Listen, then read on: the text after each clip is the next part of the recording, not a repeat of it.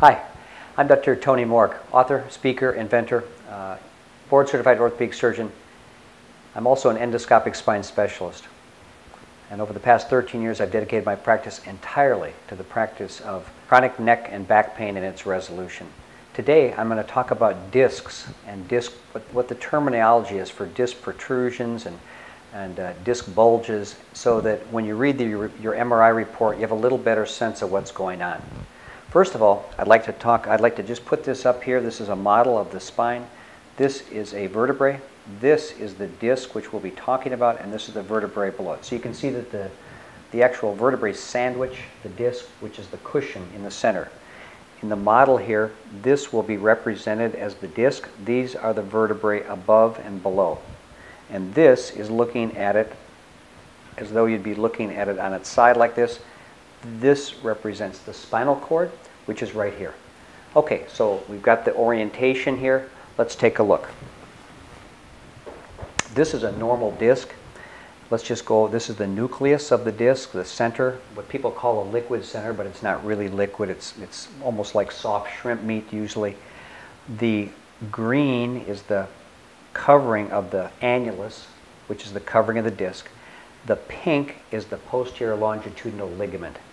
So in a normal disc, the extension, the annulus does not extend beyond the vertebral body, the bony uh, edges. It's just perfectly flat, normal. There's the spinal cord.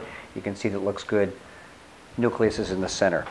In this case, we've got a bulge, and we can see that the bulge, uh, now the nucleus has pushed backward a little bit. There's the pink is the posterior longitudinal ligament, and there's the spinal cord. You can see here that the nucleus is pushing backward and it's expanding the edge of the annulus and the posterior longitudinal ligament beyond the edge of the vertebral bones. That's a bulge. This is a herniation. This is a contained herniation. So why do we say that? Well, this is the center of the nucleus. It's gone out through an annular tear. And this is the annulus. The covering of the disc is the annulus. There's a rupture here through the annulus, and it moves out beyond the annulus here, and yet it is contained by the posterior longitudinal ligament. So that's what's containing it, the posterior longitudinal ligament. There's the spinal cord. You can see how the nerve, is, the nerve here is uh, impinged on uh, by the disc. So on the side, we can see that the disc center of the uh, nucleus extends out through an annular tear beyond the annulus ending, and then it ends up out here. It's covered by the posterior longitudinal ligament. This is what we call a non-contained tear. Again, we've got the nucleus extends out through an annular tear, and then in this case, it actually extends out beyond the pink, which is beyond the posterior longitudinal ligament. So this is non-contained. Okay, so it goes out here. Again, it can still indent the uh, spinal cord here. It gets out beyond the pink or the posterior longitudinal ligament. It's not contained anymore. So the last uh, type of tear is a sequestered fragment.